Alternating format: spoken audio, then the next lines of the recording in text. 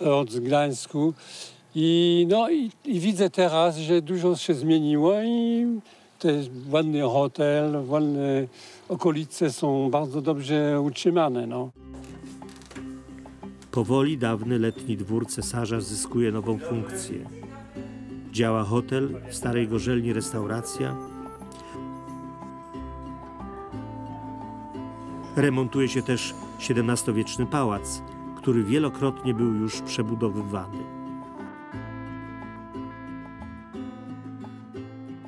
Obiekt ten chcemy doprowadzić do dawnej świetności. Nie chcemy go absolutnie e, stworzyć z tego czegoś nowego, tylko chcemy przywrócić to, co stare, tak? Czyli wracamy do koni, wracamy do majoliki, e, dodajemy jakieś nasze rzeczy. E, co byśmy chcieli stworzyć? Kolejne pokoje i dużą strefę spa.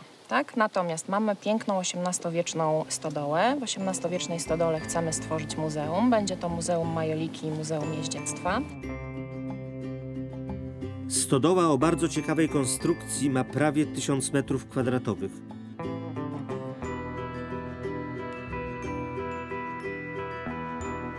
Nowy właściciel chce, by w niej znalazło się też Muzeum Starych Powozów, a w stajniach obok jak dawniej stanęły konie. No cóż, powodzenia!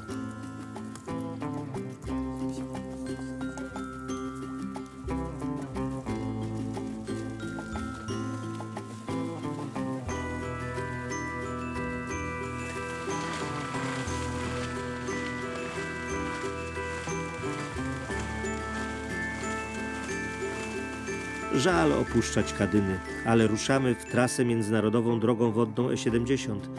Kilka kilometrów dalej leży siedziba gminy Tolkmicko. Ma bardzo interesujący średniowieczny rynek z kościołem farnym.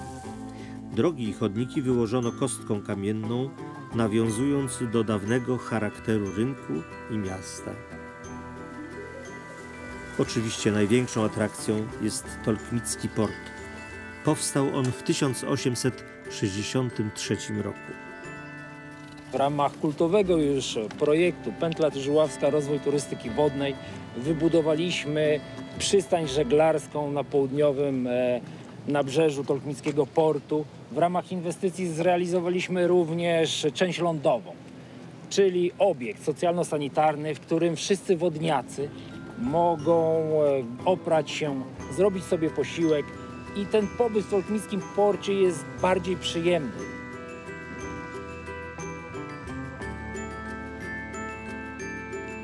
Port w Tolkmicku jest największym portem nad Zalewem Wiślanym.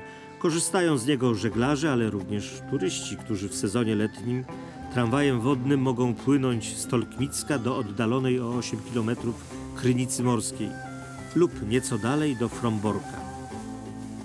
Taka podróż to frajda. Wiele tu statków pasażerskich, łodzi, motorówek. Międzynarodowa droga wodna stała się popularna.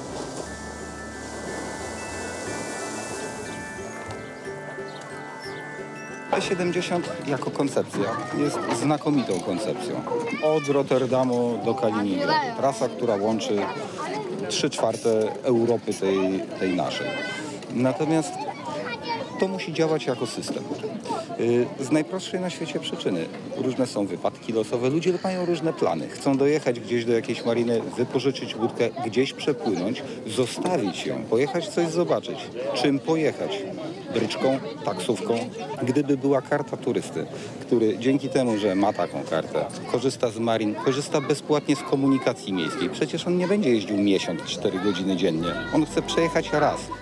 To interesująca podpowiedź dla samorządowców miast i gmin leżących nad Zalewem Wiślanym. Może rozważą taką możliwość. Będzie to korzyść dla turystów i organizatorów takich wycieczek. Nie była taka umowa.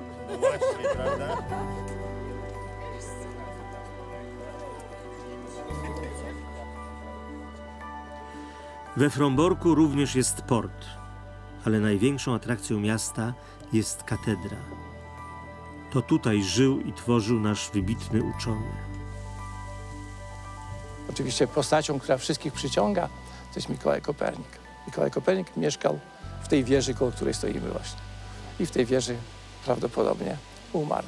On był przez pewien czas, przez dwie kadencje tak zwanym kanclerzem, czyli zajmował się podatkami, ustalał y, miary, zasiedlał nowych ludzi, y, sołtysów przede wszystkim, wyznaczał emerytury, co jest ludziom nieznane, to się nazywało kiedyś dożycie.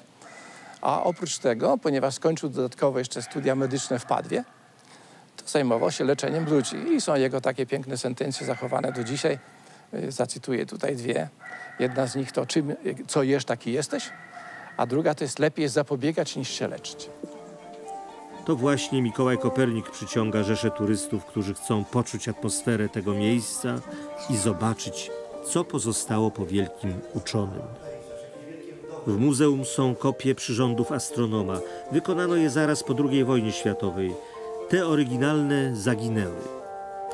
Astronom pracował przy pomocy mało skomplikowanych urządzeń, ale to dzięki nim potwierdził swoją hipotezę i napisał dzieło o obrotach ciał niebieskich.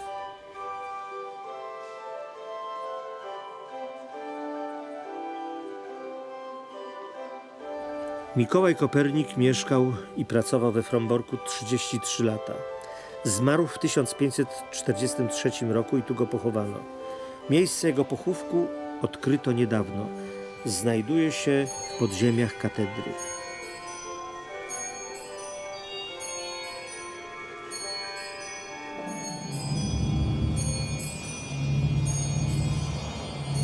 Organy katedralne zbudował w XVII wieku Daniel Mitrowski, słynny budowniczy organów z Gdańska.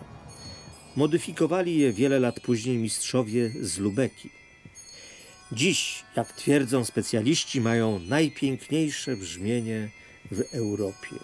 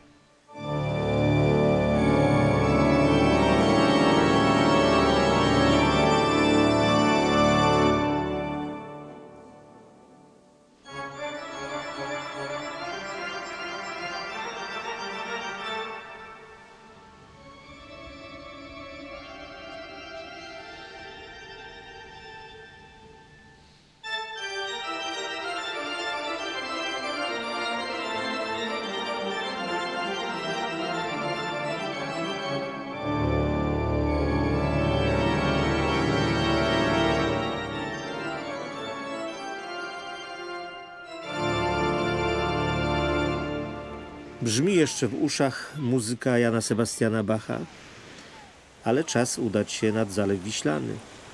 Tu u rzeka inna muzyka. Szum fal, śpiew ptaków.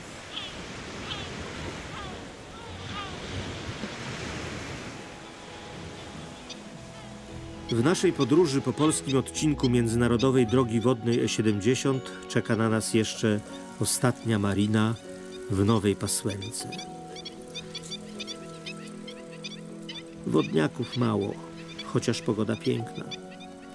Czuje się już koniec lata. Przypominają mi się słowa naszego słynnego etnografa Zygmunta Glogera.